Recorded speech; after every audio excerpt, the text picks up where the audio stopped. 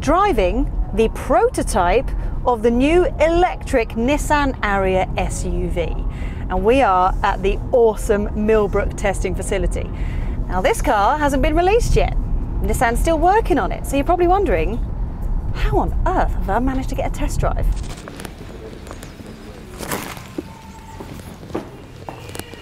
Hi there, can I take a name? Yeah, uh, Steve Sutcliffe. So, yes, I've got my hands on the brand new Ariya. This is quite a big deal actually. This is the future of Nissan. It is built on a brand spanking new electric specific platform. Also, it is crammed full of technology. So, what we'll do is I'll park up and we'll have a proper look at it, shall we?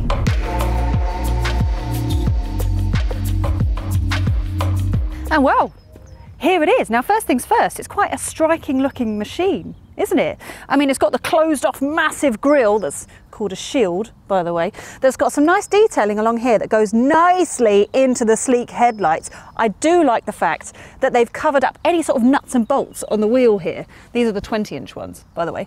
We've got a nice crease that comes down the side, and that, along with the black swooping roofline, helps make the car just look a little bit lower than what it actually is. I mean, all in all, it is still quite a big crossover, but it's not exactly elegant, it's not dainty, but it looks like a concept car in a way. I kind of like it.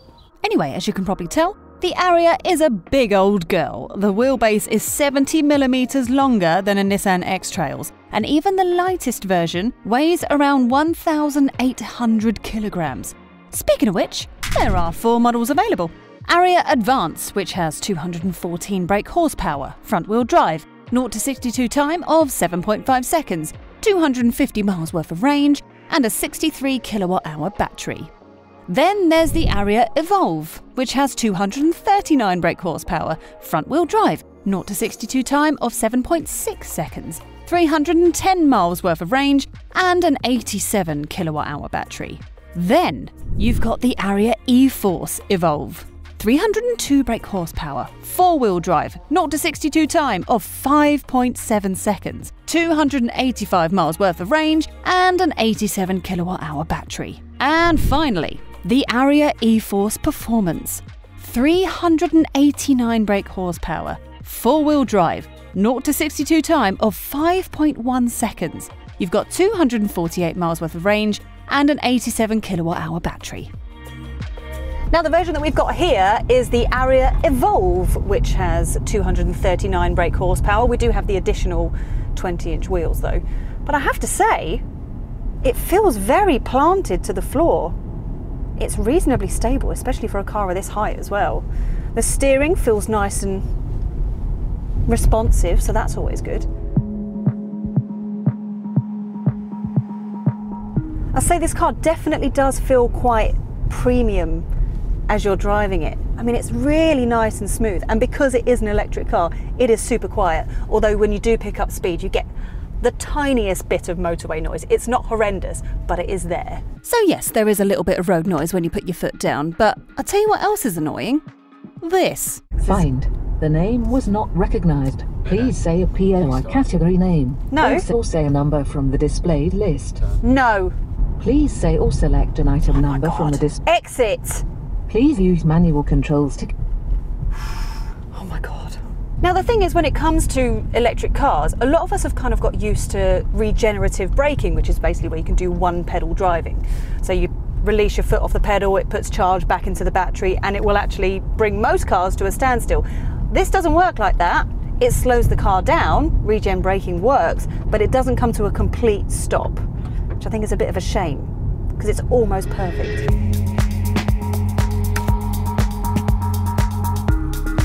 Now 130 kilowatt charging will get you 230 miles range in around 30 minutes. That's not bad, is it? Stop at a service station, pop to the loo, grab yourself a coffee, browse WH Smith, pick yourself up a copy of uh, Auto Express while you're there. So, to sum it up, this is smooth driving loveliness, but this is a modern electric car, so the interior tech needs to be cutting edge. And it really is. It's pretty plush. In here. It's a really nice, simple, neat dashboard, isn't it? We've got some nice copper detailing along here. I like this very much. Two big 12.3 inch screens. Obviously, this one has your digital dials, and then this one is going to be your infotainment.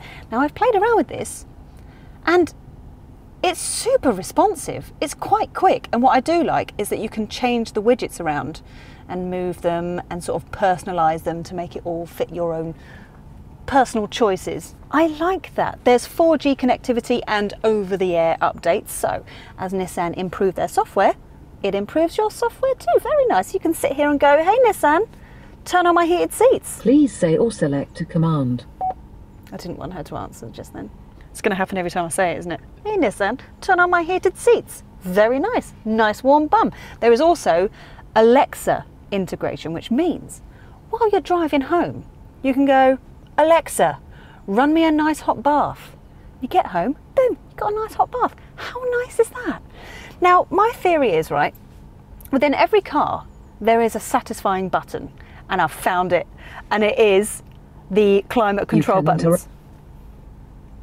You didn't- can interrupt. I didn't even say Nissan, so shut up. voice recognition. Right, so it looks like it's touch sensitive and it lights up from underneath, which looks really awesome. But as you press it, oh my goodness.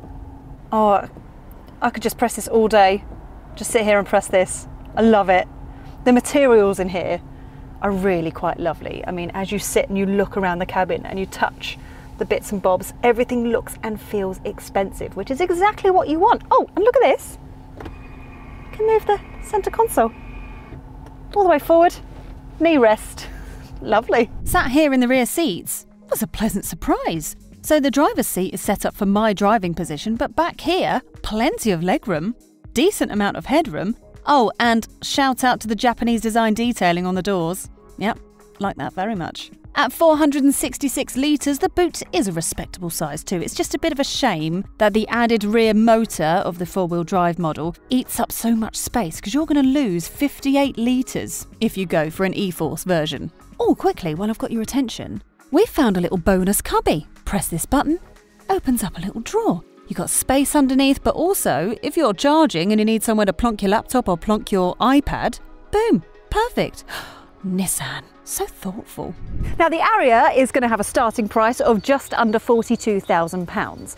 But if you want the full mega performance car, you need to prepare yourself to fork out around £58,000. But let's be honest, the Ariya is off to a cracking start, right?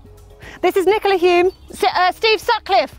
This is Steve Sutcliffe for Auto Express, Millbrook.